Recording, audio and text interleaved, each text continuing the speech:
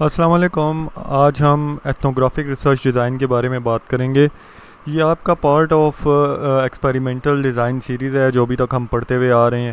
اور اس کی جو ہے ویڈیوز میری آل اباؤٹ ریسرچ والی جو پلے لسٹ ہے وہاں پہ اس کی ویڈیوز موجود ہیں۔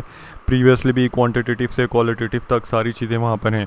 تو ایتھنوگرافک ریسرچ ڈیزائن کے بارے میں جب ہم بات کرتے ہیں تو سب سے پہلے تو میں یہ کہوں گا کہ ایتھنوگرافک ریسرچ جو ہے وہ ہمارا یہاں پہ سبجیکٹ ایک پڑھانا چاہیے جو یہاں پہ پڑھایا نہیں جاتا ریسرچ کے اندر۔ صرف ریسرچ میتھڈالوجی پڑھائی جاتی ہے اور اس کے اندر آگے فردر اور کوئی چیز نہیں سکھائی جاتی سوائے کوانٹیٹیو میتھڈالوجی کے۔ کیونکہ ایتھنوگرافک جو ہے ریسرچ ڈیزائن وہ کوالٹیٹیو میتھڈالوجی میں آتا ہے اور وہ آپ کو ہیلپ آؤٹ بھی کرتا ہے کوانٹیٹیو کے اندر۔ تو اس کو ہمیں چاہیے کہ ہم اس کو جو ہے امپلیمنٹ کریں اور یہ ایز اے سبجیکٹ پڑھائیں اپنے سارے اسٹوڈنٹس کو جو ایم ایس اور بی ایس کی ریسرچ کر رہے ہیں اور پی ایچ ڈی کی ریسرچ میں بھی ہیں۔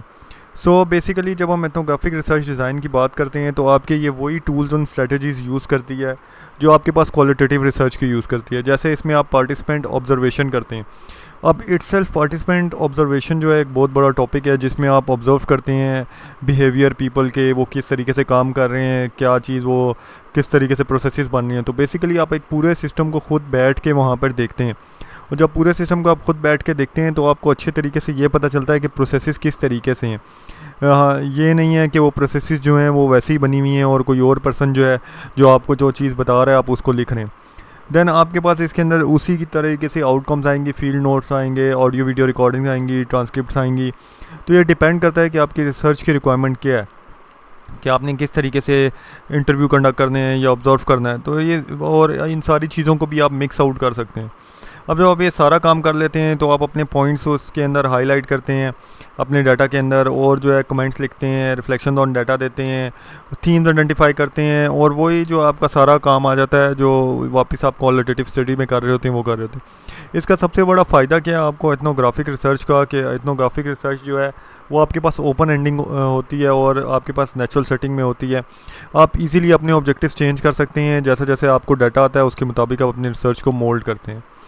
اب اس کے اندر فردر جو ہے، آپ کے پاس اگر میں ٹاسک کی بات کروں تو ریسرچر نے یہ دیکھنا ہوتا ہے کہ آپ کے پاس ڈیٹا جو ہے وہ آرگنائزڈ وے میں آئے اور اس کو جو ہے ایک سسٹمیٹک وے کے اندر وہ ڈیفائن کرتا جائے۔ اب آپ نے ڈیٹا جو ہے آرگنائز کیا اور اس کے اندر جو ہے آپ نے نیو چیزیں نکالی اور سسٹمیٹک وے یعنی جو ہے جس طریقے سے پہلے انٹرویو کنڈکٹ کیے، اس میں فیلڈ نوٹ آ گئی ریکارڈنگ آ گئی۔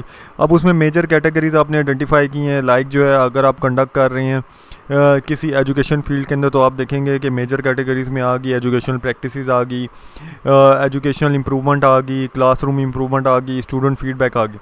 تو آپ کچھ تھیمز اس میں سے آئیڈینٹیفائی کر لیں گے اور اس کے اندر جو ہے آپ یہ دیکھیں گے کہ آپ کی وہ تھیمز آپ کو کیا بتا رہی ہیں۔ دین فردر اس کی بیس پہ آپ اسٹریٹجی بتائیں بتائیں گے کہ آپ کے پاس جو ہے ڈیٹا کو میں نے سمورائز کیا ہے۔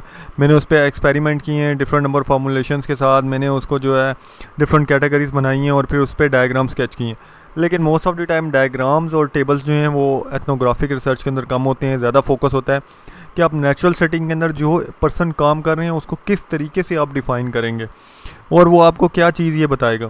تو آپ کے پاس اس کا بیسک ایم یہ بن جاتا ہے کہ آپ کے پاس سملیرٹیز ویریشن ریگولیرٹیز اور یہ ساری چیزیں آپ اپنی ڈیٹا کے اندر انالائز کرتے ہیں۔ اور اس کی بیسس کے اوپر آپ ٹپالوجیز اور ماڈلز بناتے ہیں، اس کی بیسس کے اوپر جو ہے انالیٹک اسٹڈی کنڈکٹ کرتے ہیں، اس کی بیسس کے اوپر آپ ویلڈ تھیوریز بناتے ہیں، جو آپ کے پاس ایک ریگورس انالیٹیکل پروسیجرز یعنی آپ نے بہت زیادہ ان ڈیپتھ کام کیا ہوا ہوتا ہے۔ آپ اس چیز کو ذہن میں رکھیں کہ کوالٹیٹیو اسٹڈی آپ کو ان ڈیپتھ ہر چیز بتاتی ہے۔ کوانٹیٹیو اسٹڈی صرف اوپر اوپر سے ڈیٹا کو دیکھ کے بتاتی ہے۔